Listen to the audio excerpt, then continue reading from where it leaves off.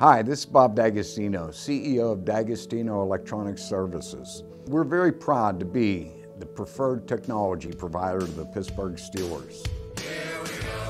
Behind the scenes, there are many job opportunities that lend itself to a game day experience.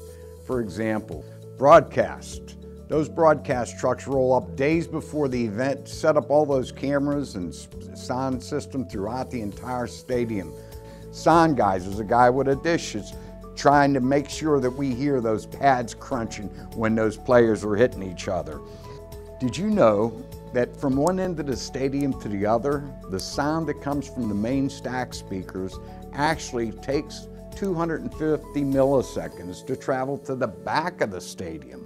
So if you're sitting in the back of the stadium, the speakers that are there, we actually delay the sound that's going to those speakers by 250 milliseconds so that the sound from the main stack reaches your ears at the same time that speaker that's only 50 feet away from you does.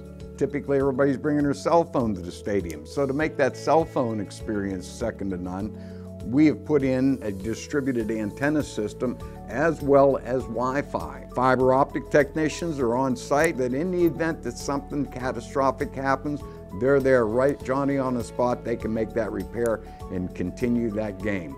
We never want to see a Hail Mary pass go in the air and that your TV goes blank at home or the scoreboard goes blank. That's what we do at Heinz Field. We make sure that all those infrastructure, all those various elements that make that fan experience second to none, all tie together. Just to give you a little background, when I was 15 years old, I had the opportunity to work at Forbes Field here in Pittsburgh for the Pittsburgh Pirates. And we didn't see technology in the sports venues that we do today, like at Heinz Field.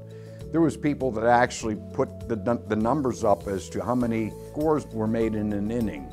But in today's world, technology is all around us. Each and every one of you have an opportunity to be a player. Maybe not on the field, but definitely in the technology that goes behind the scenes to make that game day happen.